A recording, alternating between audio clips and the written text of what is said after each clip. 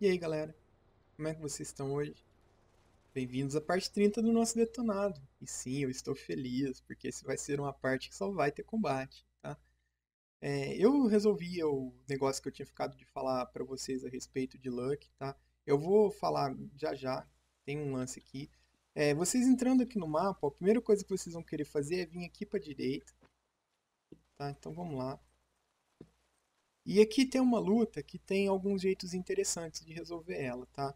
É, primeiro, essa luta vai, envolve esses lobos aqui, ó, a gente vai ver eles. Tá vendo eles? Eles tendem, têm a tendência de andar aqui para cima, tá? E aqui tá cheio de mina. Conforme eles forem andando, as minas vão começar a acertar eles, ó. Pegou o primeiro, tá? Pegou o segundo, entendeu? Então eu recomendo vocês esperar um tempinho aqui embaixo. Então eu vou aproveitar esse tempo para falar duas coisas para vocês enquanto a gente monta o setup aqui. Primeira delas, vamos cavar isso daqui antes que eu esqueça. É, eu reparei já que eu estou esquecendo diversas vezes loot nos episódios, tá? Às vezes eu volto para buscar, às vezes não, tá certo? E, e, é normal isso, tá, gente? Eu estou trabalhando em cima de pressão de tempo aqui para o vídeo não ficar boring, tá? Então vamos fazer o level up enquanto os lobos vão passeando lá nas minas. Beleza. É, o que eu vou fazer aqui agora, gente, eu vou pegar a Surgeon nível 1 com todo mundo, tá certo? Eu tinha esquecido de fazer isso, era para ter feito isso um nível atrás, tá? O motivo de, eu estar tá fazendo isso eu já tinha explicado, mas eu vou explicar de novo. É o seguinte, se vocês cometerem algum erro no setup ou estiverem jogando uma dificuldade mais alta e acontecer o pior, vocês levarem um míssil na boca e tiver todo mundo amontoado, tá, os lobinhos morrendo, é, e vocês perderem, sei lá, quatro, cinco pessoas da parte de vocês, Enquanto vocês tiverem pelo menos uma pessoa viva que tenha Surgeon nível 1 e vocês tiverem Basic Trauma Kits no, no, inventário de vocês, seja com quem for, tá? Vocês têm como reviver toda a parte de vocês, tá certo? Então eu recomendo demais pegar isso aqui, tá? Quem estiver jogando nas dificuldades mais altas, peguem até antes do que o que eu peguei aqui agora, tá certo? Vale a pena. O Taka vai pegar no próximo nível dele, que eu quero pegar esse Mechanical Repair agora. E a segunda coisa que eu quero falar para vocês é isso aqui, ó. Se vocês olharem, quando eu subo o Strength do 9 pro 10 dele, ele ganha mais 3 de Base Constitution e mais 1 de Constitution por nível. Ele tá no nível 20, tá? Então, isso aí teria que ser mais 23 pontos de HP para ele, certo? Então, beleza, vamos fazer. Olha o número que tá aqui, tá marcando 250. Na hora que eu der commit, fechar e abrir de novo os atributos dele, ó, ele tá com 272. Ele foi de 250 para 272 que é exatamente os 22 pontos de diferença, tá certo? Então, é, o que eu estou querendo dizer para vocês é o seguinte: independente do momento que vocês pegarem um atributo de strength no jogo, ele é retroativo. Seria na mesma, dá na mesma de vocês pegarem ele no nível 1, tá?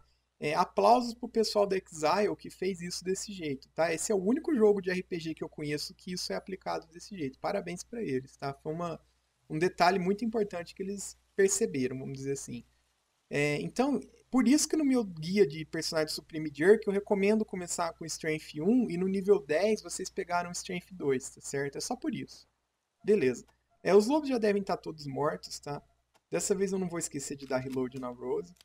O setup dessa luta aqui é o seguinte, vocês vão colocar o sniper de vocês aqui, vão colocar a Energy atrás dele, vão colocar o shotgunner de vocês aqui do lado da pedra, vão colocar a Rose atrás da pedra, vão colocar o Ralph, do o Ralph não, o Taka do lado do Shotgunner. E cadê o Ralph? O Ralph aqui do lado da pedra. O líder a gente vai colocar numa posição central e agachar ele, tá? Essa aqui é o setup da luta. Agora o que a gente vai fazer é o seguinte, a gente vai pegar o sniper, dar reload nele, vir com ele correndo até aqui em cima e tentar, acho que nem vai precisar, vamos ver se o range vai dar, e pescar um desses lobinhos, tá? Vai dar para fazer direto daqui, tá? Às vezes, eles correm todos e ficam todos aqui amontoados no minefield, tá? É bem aleatório isso. É, no, na última vez que eu fiz a practice run, eles todos foram pro minefield. Eles literalmente limparam o minefield para mim, tá? Então é bem variável, não tem erro. É que agora a gente vai passar o turno de todo mundo até eles chegarem melee.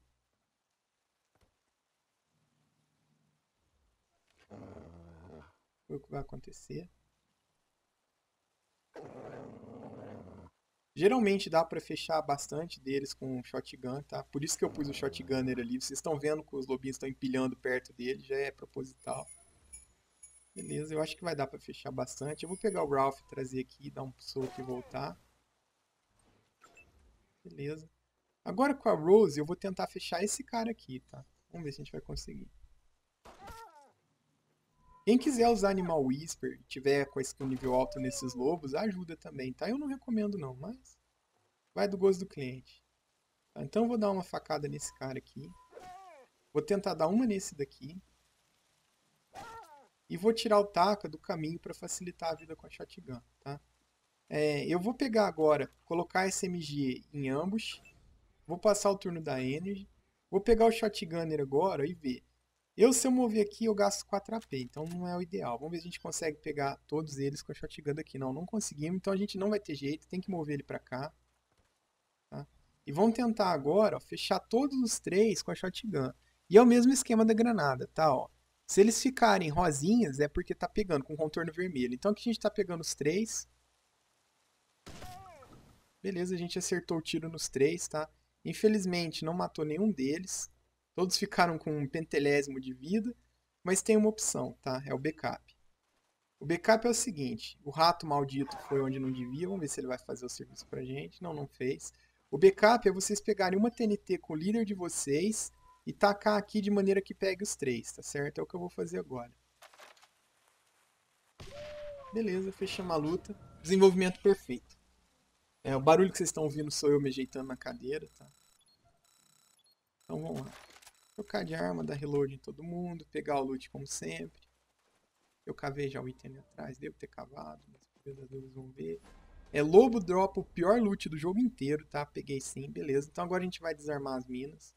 É, o giveaway dessas minas, gente, vocês estão vendo essa mina aqui em particular?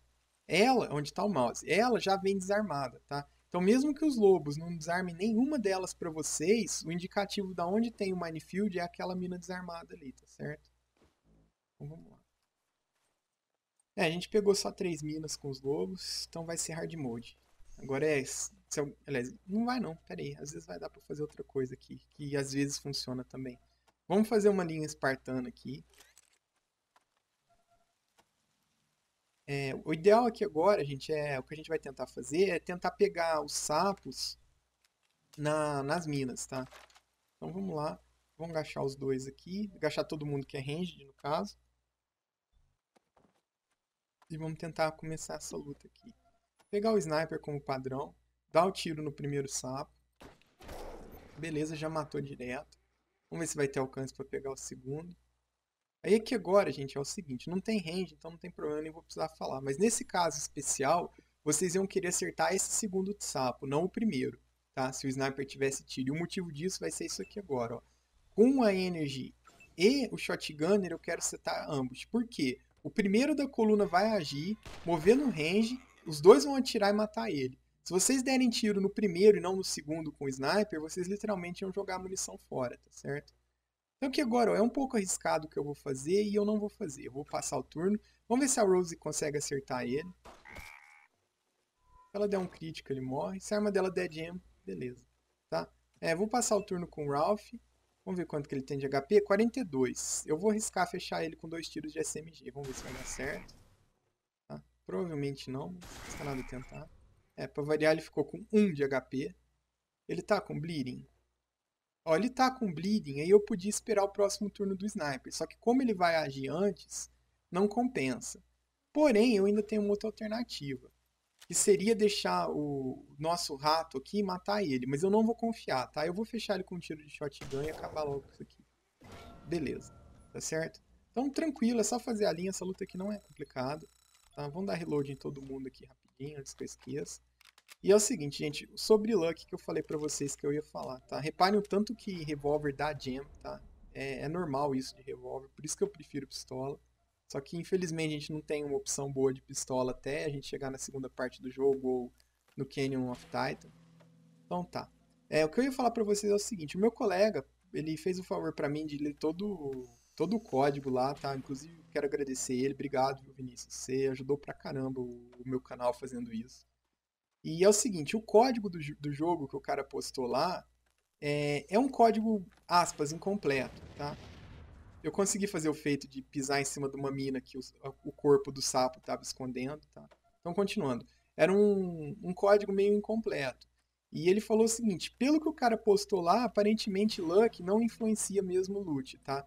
O jogo ele escolhe o loot baseado em algumas tabelas pré-determinadas no jogo. Então, por exemplo, igual o sapo. O sapo sempre, sempre, sempre, sempre, fora o primeiro boss do jogo, o primeiro mini boss, aquele sapo de Ranger Tower, vai cair ou um olho ou um olho e uma granada. Não interessa. Isso é a loot table do sapo. E segundo o código do cara, essa loot table não é afetada por luck. Porém, o Vinícius falou uma coisa importante. É, o, o código é muito mal feito, tá? E eu concordo com ele, eu acho que ele nossa, não tem comentário, é, é, coisa de aluno de primeiro ano de faculdade que fez o código, sabe? O pessoal da Exile que me perdoe, mas se eles querem ganhar meu respeito em, em código, eles façam um, trem mais profissional da próxima vez, tá? Beleza, tem um item enterrado aqui, e assim, o problema é que não tem, tem um monte de função lá que está escondida. E, e, assim, a gente não tem acesso a essas funções, entendeu? Não, tem só o nome dela lá. E muito bem, dentro de uma delas, é, pode estar tá embutido o uso do atributo luck. Então, infelizmente, não tem como saber com 100% de certeza, tá? Aparentemente, pelo que a gente teve acesso, não, não influencia mesmo, tá? Então, fica aí a dúvida para vocês. Eu vou continuar usando luck porque eu acho o seguinte sobre luck. Luck é um atributo morto? Depende, entendeu? Eu acho que só o fato de luck aumentar a sua chance de sucesso em 10% em tudo que você faz, ela já é um atributo extremamente útil, tá? É, essa luta aqui, gente, é um inferno o setup dela, tá? Então a gente vai tentar fazer de um jeito meio português aqui a coisa. É o seguinte, a gente vai pegar a Energy, o giveaway de vocês eu vou pôr a linha, tá? É nesse arbusto aqui. Vocês vão querer setar os personagens de vocês, se o jogo colaborar, mais ou menos perto dele, tá? Não, não tem muita precisão aqui em como fazer isso não, tá? Separem a Energy e o Shotgun um do outro. Tá? Isso ajuda um pouco, porque se eles colarem um em outro, vocês vão ter pão de correr. O Taka e o Ralph, eu vou querer colocar eles mais para frente nessa luta, tá? Bem na linha do arbusto. A Rose eu vou colocar aqui entre os dois, tá? Já agachar todo mundo aqui, tá? Só para garantir. E faltou o líder. O líder eu vou colocar colado na bunda da Rose aqui, tá? Vai ficar vigiando a bundinha dela. Aí é o seguinte, a gente vai pegar o nosso sniper, Tá? Deixa eu ver se eu dei reload na Rose, que é importante nessa luta. Tá? Não esqueçam de dar reload. Aí é o seguinte, a gente vai trazer o sniper até aqui do lado e vamos ver se a gente consegue ver o patrol desse cara aqui. Tem um cara que faz patrol aqui atrás e aqui na frente. Esse cara aqui, ó, tá vendo? Ele acabou de passar ali por trás. O que a gente vai querer fazer é esperar ele chegar. Na hora que ele chegar, a gente vai ver a chance de hit e ver o que a gente vai fazer, tá? Tá vindo. 64 não compensa dar headshot, então vou tentar dar um tiro comum nele. Acertamos, beleza. E aqui é o seguinte, ó. Eu recomendo para vocês nem perder o tempo dando o segundo tiro. Primeiro, porque vocês não vão ter chance de matar.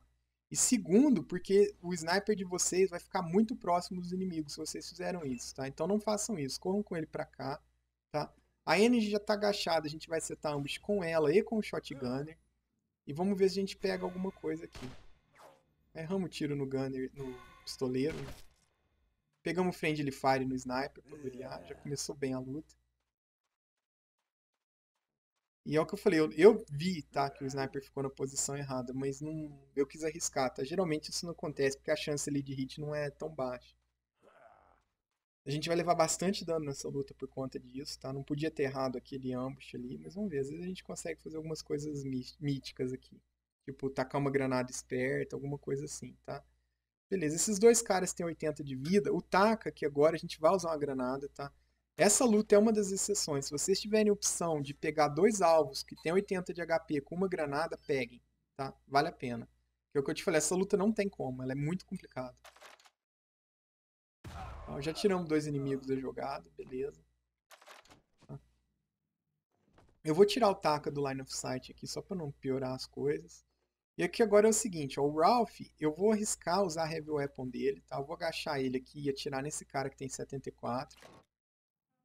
Pra variar, claro, o Heavy Weapons, né? O que, que eu falei sobre Heavy Weapons, hein, gente? Vocês lembram? Uhum, dá muito jump, lembra? Então, é por isso que eu nunca falo pra vocês colocar Heavy Weapons como arma primária, tá? Nunca façam isso. Beleza, o cara ficou com 31 de vida. Aí é o seguinte, ó. Eu tenho algumas opções aqui agora. Esse cara não vai morrer com um tiro de sniper. Então o que eu vou fazer é o seguinte, eu vou trazer ele pra cá, agachar, tá?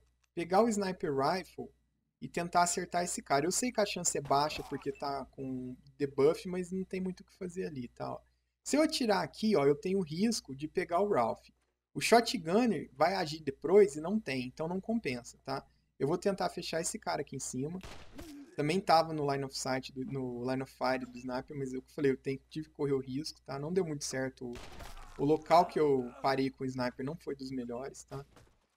Agora o rato vai servir de bucha pra gente contra esse cara, tá? Provavelmente ele vai fuzilar o rato e dar pra gente é, a chance de não levar dano nenhum. Então, beleza, ele correu lá pra trás. É, ele ter feito isso significa o seguinte, ele vai atirar no rato e matar ele, tá? Não tem o que fazer. Então o que a gente vai querer fazer agora é aproveitar a situação, tirar o pessoal aqui do, do local e setar ambush com os dois aqui, tá? Vou aproveitar já tirar o Taka do, do, do line of sight também, Tirar o Ralph do Line of Fire para ele não levar um tiro na nuca. E a Rose aqui eu vou setar ambos com ela, tá? Continue setando ambos. E agora a gente vai esperar ele tomar o turno dele, matar o rato. Ou o rato matar ele, tá bom. Beleza. Ele moveu, a gente já vai tentar pegar ele no ambush ali. Deu certo o tiro do sniper. Tá? Passar o turno com todo mundo aqui. Já dá um gem na arma do Ralph. Vou passar já o turno da Rose, porque não vai precisar mais usar ela. Vou setar outro ambush com o Sniper. E setar ambush com esses dois. Então, como eu falei, o rato ia morrer, já era de esperar.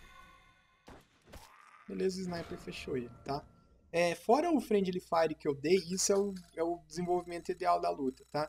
Então vocês tomem cuidado para não, não fazer isso, tá? Não colocar o, o sniper de vocês na linha de fogo igual eu fiz, tá? Aquilo ali foi um erro bem banal meu.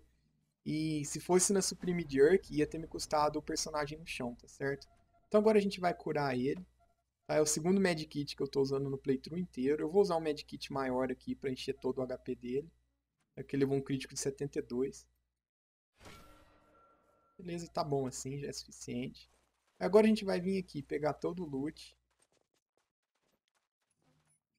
Ó, é, eu não me preocupei em fazer o, o grind das HKs para pegar os long barrels, porque eu sabia que a gente ia pegar muita delas aqui, tá?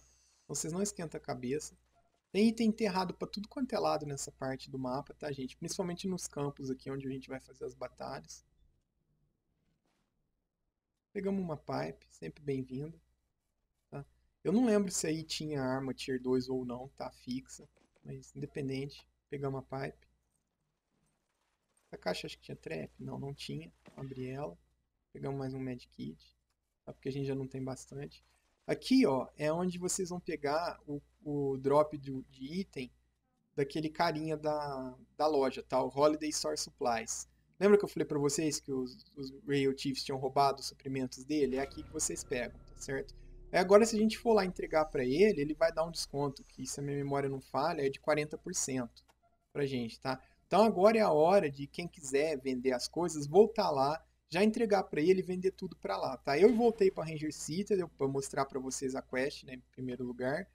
E porque eu queria também guardar o dinheiro dele para comprar as coisas aqui agora, tá? Ele não tem muito dinheiro, mas se vocês estiverem precisando de comprar suprimentos médicos, munição, essas coisas que ele vende, tá?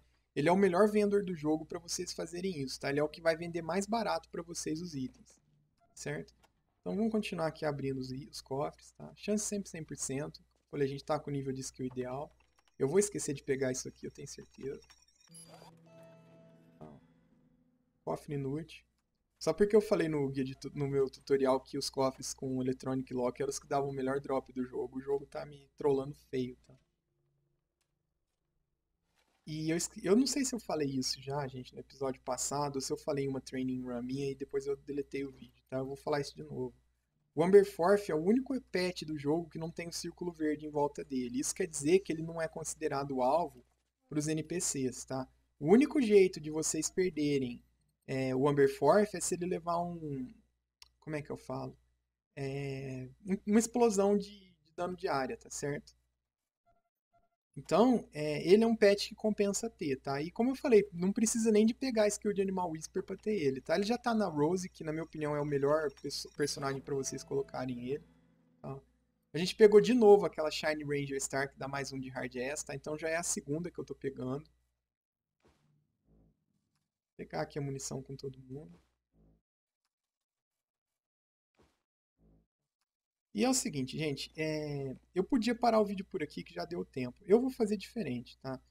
Em, em respeito a vocês, assim, que estão acompanhando o tutorial, tá? Eu tô, esse vídeo aqui eu enrolei muito, explicando muita coisa e tudo. Eu vou deixar o vídeo mais longo e eu vou fazer próxima, o próximo combate também, tá certo?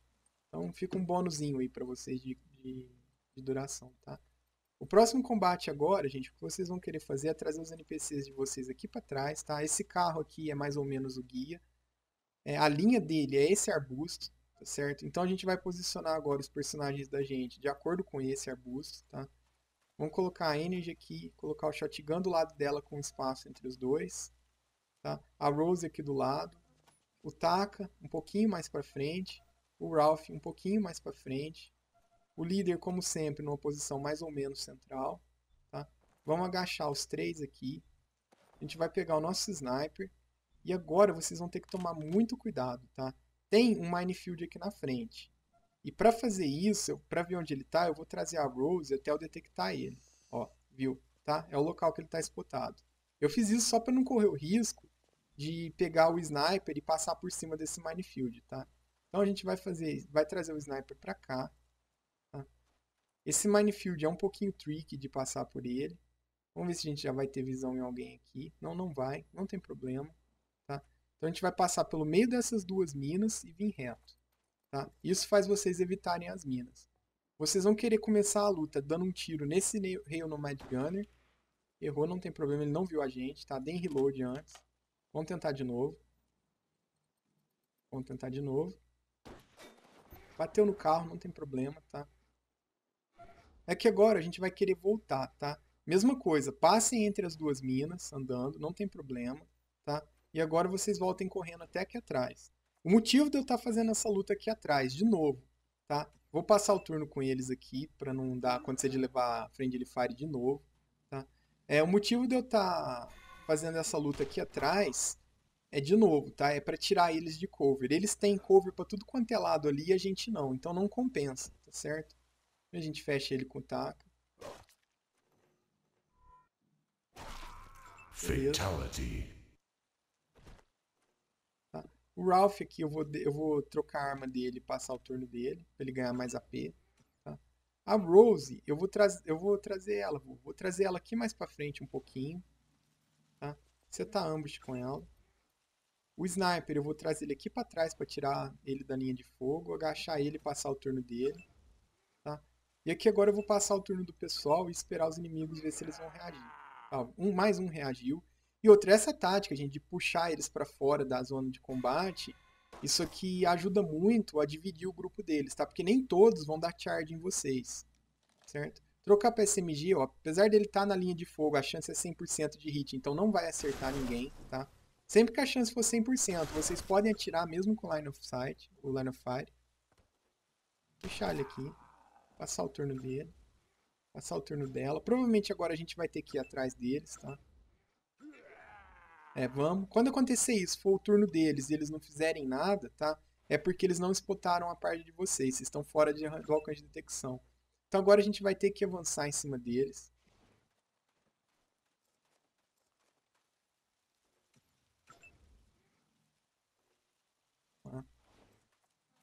Tem mais uma mina aqui num canto, nesse canto, tá? Por isso que eu tô parando ali. Eu vou pegar o taca agora, vou chegar ali perto da mina. Vamos ver se ele se quanto, precisa de 2 AP, vai dar pra dar defuse. Já vou dar desarme numa aqui. Beleza, já tiramos uma do caminho. Trazer o Ralph aqui também. Agora a gente vai avançando, tá? Enquanto a gente não chegar no view range de alguém, eles vão simplesmente ignorar a gente, tá? Não se preocupe. Achei a terceira mina. Agora pode avançar mais um pouco. Beleza? Vamos trazer o líder junto também, tá? Não vai ser importante, mas... Vamos vendo. Beleza, olha, ele spotou a gente, já começou a avançar, tá? O outro spotou também, perfeito, então vai ser fácil a luta, tá? Os dois estão com armas milis, então o que a gente vai querer fazer aqui agora? Já agachar o pessoal, tá? Setar ambush com os três.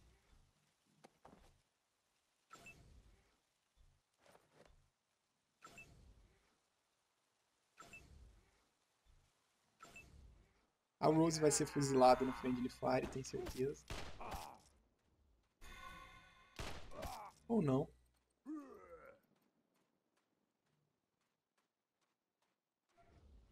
Beleza.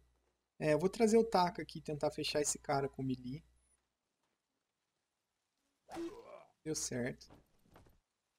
Um AP não adianta, já tirar ele do line of sight para não atrapalhar. O Ralph não tem alcance para chegar lá, então ele vai ficar para trás. Tirar a Rose do caminho para ela não levar friendly fire. Agachar ela e dar um tiro com ela já nele. Errou, não tem problema. Agora aqui, ó, esses caras têm dois de armor. Vamos ver se a SMG tem range. Tem, vou dar um tiro com a SMG. Hum, provavelmente a gente não vai conseguir matar ele. Vamos ver se a gente dá sorte e pega um crítico com ela ou não. Não. Eu vou arriscar dar um Burst Fire aqui, tá? A chance é 56. Beleza, a gente pegou dois tiros e matou ele. Perfeito, tá? É, esse é o desenvolvimento ideal dessa luta, certo?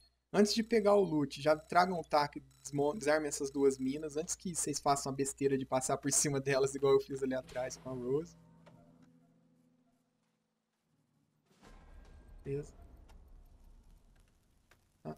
Então, gente, essa tática que eu estou mostrando aqui para vocês de fazer a luta lá atrás, tá? Eu gosto de chamar ela de dividir e conquistar, tá? Tipo, é referência gringo, sim, eu sei disso. E o motivo de eu, de eu usar tanto essa tática, tá? É que isso aqui é o jeito mais fácil de fazer, tá? Infelizmente, os developers do jogo não deram pra gente opções ideais de combate. Então a gente tem que exploitar um pouco a inteligência artificial burra do jogo, tá certo? É, eu vou desmontar os rifles aqui on câmera para ver se a gente pega um long barrel. Tá? O ideal seria, se pegar dois aqui, beleza, tá? A gente resolveu o nosso problema, pegamos um. E o motivo disso é que eu quero colocar um em cada M16, beleza, tá? Então, de novo, lembra que eu falei que eu não fiz o grind? Já foi de propósito porque eu esperava pegar os long barrels aqui. A gente pegou três long barrels, tá? É, agora o que a gente vai fazer é o seguinte, a gente vai pegar a arma do sniper, passar pro líder. Do sniper não, desculpa, do shotgun e passar pro líder. A arma da energy passar pro líder. E a gente vai colocar esses long barrels nessas M16, tá? É, o long barrel, gente, além dele aumentar o alcance da arma de 27 para 33 metros, tá? que faz o M16 virar praticamente um sniper rifle, ele aumenta a chance de hit da arma também. Tá? Então, vai ficar mais, é, vamos pôr assim, útil para a gente poder dar burst fire, tentar de vez em quando dar um headshot ou outro. Tá? A chance que aumenta é pouca, mas já ajuda, tá certo? Então, beleza. Agora eles, eu, o Shotgunner tem 94% de chance de hit e a Energy também, tá? Então a arma tá bem pesado o mod dela, tá? ele tá com o Sturdy Mag, o Small Scope, que eu vou querer trocar pro High Powered Scope, já tá com Underbarrel Flashlight e já tá com Long Barrel, tá? Então agora a gente para pegar as armas nossas aqui do, do nosso cara também estão já com esses mesmos mods, tá? Na SMG eu, eu opto por pegar é, High Capacity Mags, tá? Porque ela gasta muita munição. E é isso. Então vamos pegar aqui agora, o, já desmontar já esse, desculpa, pegar o resto do loot aqui e ver se a gente consegue pegar mais uma pistola ou a gente já pegou. Não, a gente já pegou. Então a gente pegou uma pistola, vou desmontar ela também. Vamos ver se a gente já pega um High Powered Scope. Pegamos, tá? Então que agora é o seguinte, ó, como a Energy usa bem mais o rifle do que o Shotgunner, eu vou optar por colocar nela, tá? Para tirar o mod, é só vocês clicarem no Remove aqui, tá? A chance é 100%, então a gente não vai perder mod com o nível de Weaponsmith que a gente tá e já vamos colocar o High Powered Scope aqui, tá? Essa M16 já tá com os melhores mods possíveis de Arizona, tá certo? Então é isso aqui os status dela. É, ela vai ter 33% de chance de hit. Deixa eu pôr na Energy, que com o Weapon nível 6 vocês já vão poder ver o que vocês vão ter aí, tá? Ó, ela vai ter 94 chance de hit, nenhuma chance de dar gem, 25% de chance de crítico, mais os 3% da, do Unusual Bow, que não estão procados lá, tá? Eu não sei se ele já considera, deixa eu olhar aqui, ó. É, ó, tá vendo? Aqui na, na tab ele mostra 28, tá? Esse 28 é por causa dos três do ano Jobou. E tem 37 metros de range, tá? Isso aqui é um sniper rifle em forma de assalto, tá certo? É uma das melhores armas do jogo, tá? O, o M16, a gente vai usar ele muito. Vamos vir aqui pegar todo o loot. Tá, ó. Pra variar mais um alarme. E de novo, modo cavalo de desfile de 7 de setembro, tá? Alarme desarme é uma skill inútil, não adianta, tá? Quem falar para vocês o contrário tá enganando vocês, tá? Não acreditem nessa pessoa, porque ele é um menino do mal.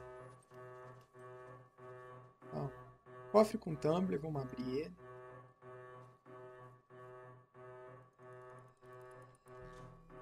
Eu espero que não esteja ficando muito alto o barulho desse alarme. Pelo menos pra mim tá baixinho. Deve estar tá pra vocês também, eu espero.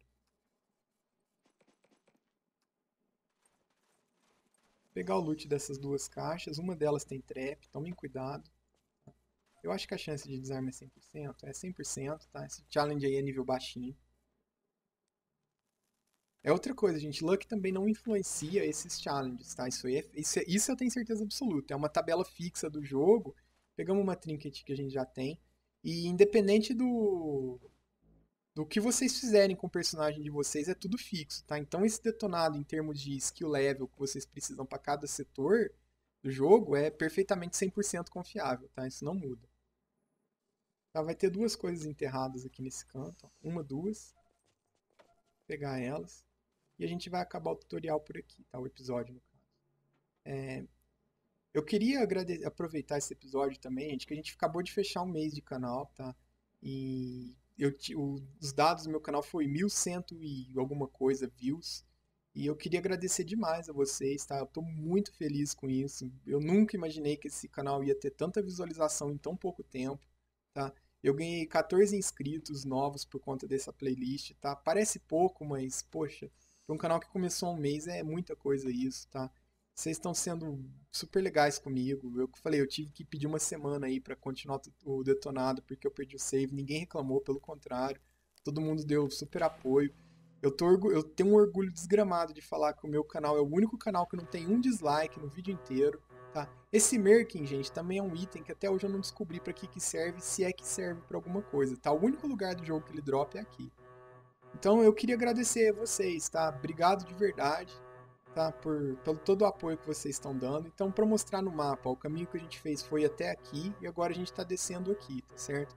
A gente vai acabar de limpar essa parte, o campo dos caras está aqui e esse local aqui, o jeito de fazer ele é vir por aqui, tá? Não aqui por baixo. Então, amanhã eu faço esse episódio e obrigado por ter assistido, tá? Se você gostou, dê um like.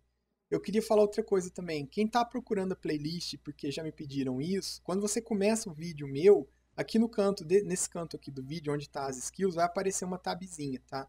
Essa tabzinha é só clicar nela que ele já joga direto na playlist para vocês. Quem está clicando nos meus uploads, ele está pondo os episódios de trás para frente, porque lá não tem o que eu fazer, é na ordem que eu coloco os vídeos. Entendeu? Então vai mesmo ficar de trás para frente. Na playlist tá tudo certinho, tudo por ordem, tá? Eu tô tomando cuidado com isso.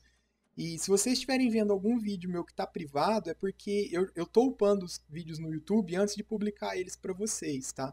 Então todo dia às 8 horas da noite é um vídeo novo, é a regra que a gente combinou, tá certo? Então obrigado por terem assistido, tá? E até a próxima.